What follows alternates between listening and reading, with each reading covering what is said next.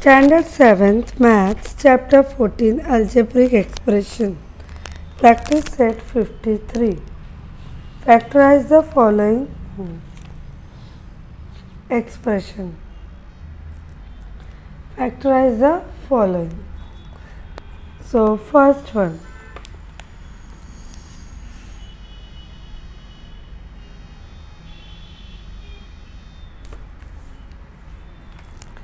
p square minus q square. So this is the reverse formula. See, we have to write one time in plus p plus q then multiply by p minus q. This is the answer. Done. Now see second one 4x square. So 4 is a square of 2. 4 2 का square है so so, यहाँ पे आएगा 2x the whole square.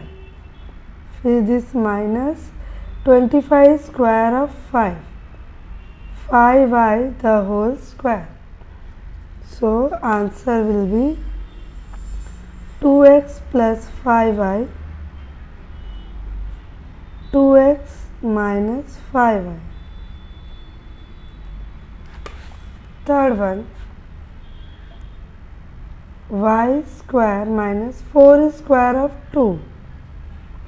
So your answer will be y plus 2 y minus 2.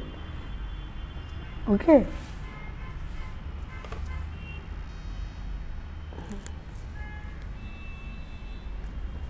Now fourth sums.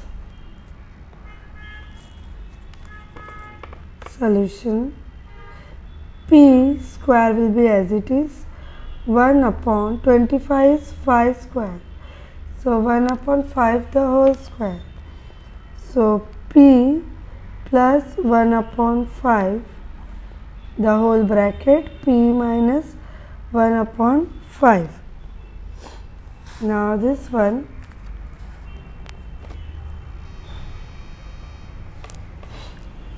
solution see 9 is square of 3 so three x the whole square minus one upon sixteen square of four into y the whole term square so your answer will be three x minus one के जगह में one upon four the y and then three x plus it is okay आप पहले plus बाद में minus दिखा सकते हो या पहले माइनस बाद में plus okay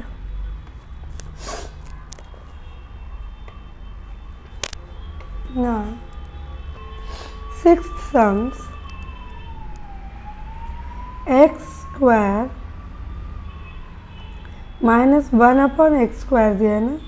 So one upon x the whole square बताना and then answer x plus 1 upon x into x minus 1 upon x. Next sums. यह हमको थोड़ा सा ऑपरेशन करना पड़ेगा। Operation is what see here you have a square दो a here you have single a so that you will take common फिर B यहाँ पे भी है, यहाँ पे भी। So b also you will take common then take a bracket या you are left with a और यहाँ पे ए बी में से कुछ नहीं बचा तो one so this is your factorization that a b multiply by a minus one okay eight sums.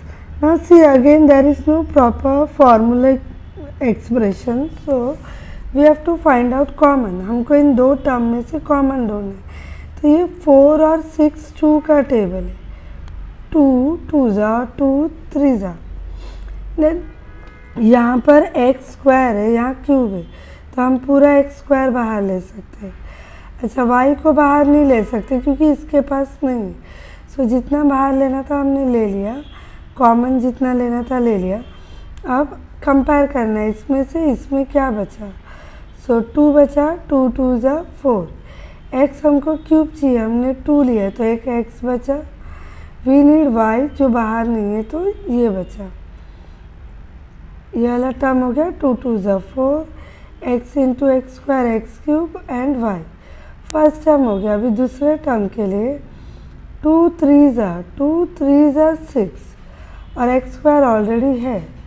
So this is done factorization now, next sums. Ninth sums. Solution. C one upon two को हम बाहर लेंगे. Alphabet तो वैसे ही रहेगा.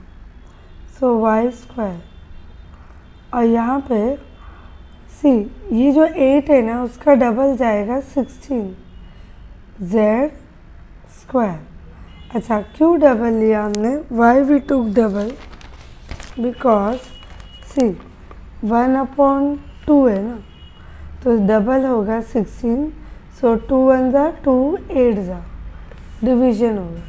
सो that's why ये multiply का formula one upon two into sixteen तो that's why we two sixteen अब इसके बाद फर्दर वन अपॉन टू तो एज इट इज़ रहेगा।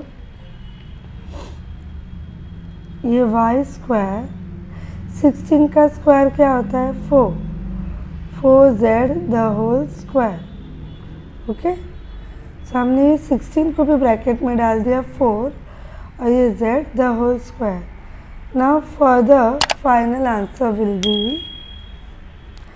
one upon two जो बाहर है एज इट इज़ अब ये y plus four z into y minus four z This is the answer. Tenth sums. Again we have to take common 2 the whole bracket x square 2 4 is 8 2 4 is 8 so, ये हमने common ले लिया। Now to ये formula में आएगा। X square minus ये two का whole है। टू टू ज़ा four so final will be two x plus two y x minus two y okay?